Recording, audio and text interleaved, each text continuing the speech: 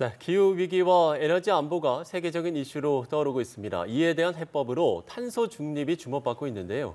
최근 제주도가 에너지 대전환을 통해서 2035년까지 탄소 없는 도시를 구현하겠다는 계획을 밝혔습니다. 오늘 이 시간 오영훈 제주특별자치도지사를 직접 만나 구체적인 계획을 들어보겠습니다. 어서 안녕하십니까? 오십시오. 네, 안녕하십니까? 네, 네. 반갑습니다. 반갑습니다. 자, 저희가 소개를 하면서 언급을 했습니다만 제주도가 최근 정부 계획보다 15년이나 앞당겨서 네. 2035년 탄소 중립을 실현하겠다 이런 이제 비, 비전을 발표를 했습니다. 네, 맞습니다. 좀 더 자세히 설명을 해주신다면요. 어, 정부는 2050년 탄소 중립을 목표를 제시를 했었는데요. 네. 어, 저희들은 그렇게 되면 15, 어, 너무 늦다라는 판단을 좀 하고 있고요. 왜냐하면 저희들은 이미 재생에너지 발전 비율이 19.2%입니다. 어, 그래서 시, 어, 그런데 출력제어 문제가 계속 발생을 하고 있는데 재생에너지를 더 늘리지 않으면 안 되는 상황. 그러니까 그린 수소를 지금 생산하고 있는 상황이기 때문에 어, 탄소 중립 시기를 앞당겨야 되겠다 판단을 네. 하고 있는 것이고요. 그럼 2035년에 어, 탄소 중립을 실현하기 위해서는 7기가와트의 어, 재생에너지 발전 설비가 필요하게 됩니다.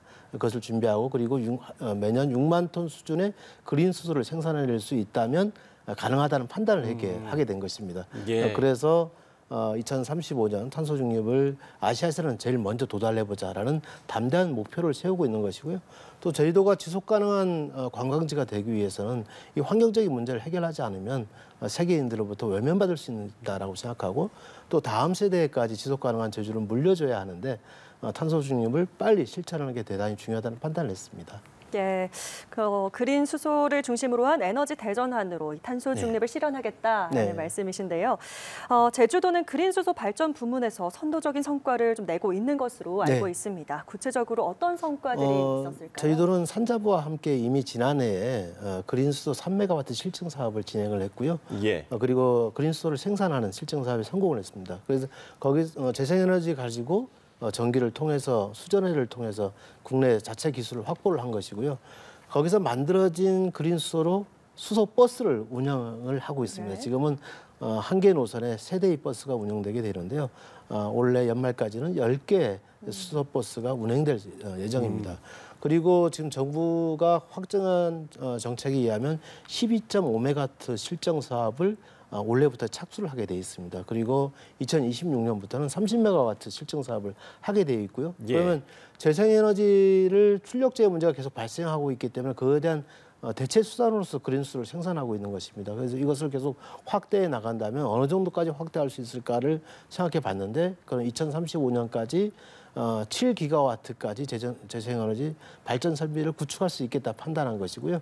그렇게 되면 기저전원 자체를 어, 지금은 화력 발전에서 완전히 그린 수소, 어, 수소 전소 단계로 발전시킬 수 있다는 판단을 하게 되는 겁니다. 그러면 탄소 배출이 전혀 되지 않는 어, 무공해 어, 제주 섬을 만들 수 있다는 얘기가 됩니다. 예. 지사께서는 이제 취임 이후에 꾸준하게 지방 외교에 공을 들이고 계신데 네네. 어떤 성과들이 있었습니까? 어, 그동안 저희도는 이제 한중일, 이제 중국과 일본을 중심으로 한 관광지로서 각광을 받아왔는데 네. 그것만으로는 제주의 지속 가능한 경제를 유지하기는 어렵다는 판단을 했고요. 어, 그래서 제가 준비했던 것은 아시안 플러스 알파 정책입니다. 아시안 10개국을 넘어서 중동 그리고 유럽까지 어, 지방 외교의 영역을 어, 넓히겠다. 그것은 꼭 경제 영토를 넓히겠다는 것이죠. 네. 그래서 지금은 제주 반도체라는 회사가 제주도 수출 품목 1위를 차지하고 있는데요. 어, 그리고 네오폴이라는 어, 게임 회사는 어, 지방 법인 소득세를 가장 많이 내는 회사로 자리를 잡았습니다. 아, 이런 반도체 그리고 게임 콘텐츠뿐만 아니라 제주에서 나고 나는 새로운 화장품 제품을 비롯한 일차 가공 상품들이 아시아 시장에서 각광을 받고 있기 때문에 어, 지금은 1억 달러 수준에서 이제 벌- 벌써 2억 달러를 돌파했고 25년 내년 되면 어, 3억 달러 수준으로까지 어, 높아지게 될 것 같습니다. 어, 예. 이런 또 지방 외교의 성과를 한 자리에서 네. 확인할 수 있는 제주 포럼이 개최된다고 들었는데요. 언제 또 어떤 주제로 열리는지 설명 좀 해주시죠. 어, 제주 포럼은 5월, 5월 29일부터 어, 30일, 31일까지 열리게 되고요. 예. 어, 내년이면 이제 20주년을 맞습니다. 어, 그만큼 국제적인 외교의 장을 제주에서 어, 열어주고 있는데 어, 담대한 지방의 어떤 혁신을 위해서 준비를 하고 있고 원래는 어, 한중일 지방 정부의 역할을 좀 강조를 하고자 합니다. 어, 대한민국의 제 남단에 있는 어, 섬 제주와 그리고 네. 중국의 제 남단에 있는 섬 하이난성 그리고 일본의 제일 남단에 있는 오키나와, 오키나와, 네. 이세 개의 지방 정부가 어, 머리를 맞대서 한중일에서의 평화 번영을 논의하는 세션을 어, 준비하고 있고요. 어. 또 그 다음에는 이제 에이펙 그 사무 총장 그리고 아시안 사무국장 등이 참석하는 세계 지도자 세션 등을 통해서 어, 이 제주 포럼에서의 어, 평화 번영을 약속하는 그런 자리를 준비를 하고 있습니다. 예, 한중일 관련 세션도 뭐 준비하고 계시다 네, 이렇게 네. 말씀을 해주셨는데 네, 네. 그러면 지난해와는 그러니까 이제 네. 올해로 이제 19회째를 맞기 때문에 네, 네. 지난해와는 다른 어떤 올해만의 그 특징이 있습니까? 어, 우선은 지금까지는 이제 평화 중심의 그 어, 지방외교 논의가 이루어지고 있다면 지금 어, 올해 같은 경우는 경제와 변, 번영을 중심으로 네. 한 논의들이 더 진행되게 될 것이고요. 또 저희도가 추진하고 있는 새로운 미래 신산업인 어, 아까 에너지 대전을 통한 그린 수소 어, 정책 그리고 민간 우주 산업 어, 그리고 관광형 UAM 산업 등의 어, 미래 신산업과 관련된 논의들도 함께 에, 이루어질 전망입니다.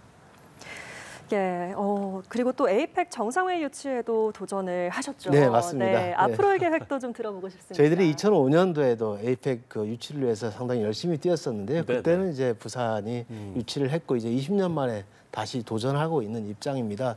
어 근데 대한민국에서 저는 회의 시설을 ICC 컨벤션 센터 어 그리고 최근에 준비하고 있는 800억을 들여서 어, 제2 컨벤션 센터를 다시 어, 내년 8월까지 준공을 할 예정입니다. 예. 그러면 어, 서울을 빼고는 가장 큰 회의 시설을 확보하게 되는 수준에 이르는 것이고요. 그다음에 숙박 시설도 5성급 이상 호텔들이 어, 중문 관광단지 인근에 많이 준비가 되어 있기 때문에 네. 어, 충분히 어, 회의 시설 어, 그리고 숙박 시설 그리고 경호에 있어서도 어, 저희도가 최적의 여건이라는 생각을 갖고 있습니다. 앞으로 실사 단계와 그리고 어, 프리젠테이션 과정에서 제주의 매력과 장점을 제대로 알리고 그리고 에이펙이 추구하는 가치와 목표에 가장 부합하는 어, 제주도정의 정책을 어, 적극적으로 피력해 나갈 생각입니다. 네. 네. 이렇게 계획까지 저희가 들어봤고요. 지금까지 이제 말씀해주신 그런 제주의 지방 외교 노력, 과연 도민과 국민들에게는 또 어떤 이익을 줄 수 있을 것인가? 끝으로 우리 시청자 여러분과 또 도민께 한 말씀 부탁드리겠습니다. 네, 지금까지는 국가 간 외교가 이제 중심이었는데 이제 네, 예. 지방 외교 그리고 지역 간, 도시 간 연대와 협력이 강화되게 되면 더욱더 밀접해지는 것이고요. 음. 어, 특히 우리 같은 경우에는 수출도 더 늘고 또 외국 관광객이 더 대폭적으로 늘고 있습니다. 네, 특히 어, 지금까지만 해도 벌써 4월까지 53만 9천 명이 다녀갔거든요. 원래 130만 명을 충분히 넘어설 것이라고 봅니다. 즉 우리에게 경제적 이익을 바로 갖다 주는 것이 저는 지방외교의 성과라고 보여지고요. 어, 그런 지방외교가 가- 각광을 받으면 받을수록 대한민국의 국격이 더 높아지는 거라고 생각하고 대한민국의 외교적 수준도 더욱더 어, 질적으로나 어, 더 성장하는 그런 결과로 나타나지 않을까 생각합니다. 네, 알겠습니다. 자, 지금까지 오영훈 제주도지사와 함께 이야기 나눠봤습니다. 오늘 말씀 고맙습니다. 감사합니다.